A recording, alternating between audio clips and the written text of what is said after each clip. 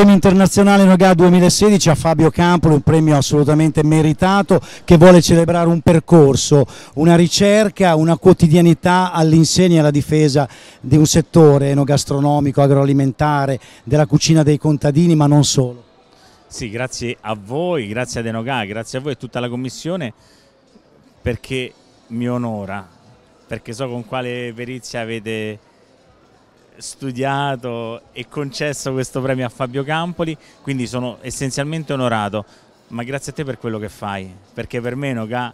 è andare a rivedere anche tutte le cose che hai già fatto, sai che quando così ogni tanto vado a riascoltare l'intervista di Veronelli, io torno lì eh, e Noga, vado dietro, ascolto. È stato un po' in qualche modo il nostro maestro, non potremo esistere senza l'opera di Veronelli che ancora vive, ancora bisogna studiare. Credo che eh, ci sarà un percorso di studio dell'opera di Veronelli. Sì, è importante quello che è stato fatto negli anni, la storia è importantissima, non dobbiamo dimenticarla. Siamo arrivati al punto dello show, come abbiamo poc'anzi detto,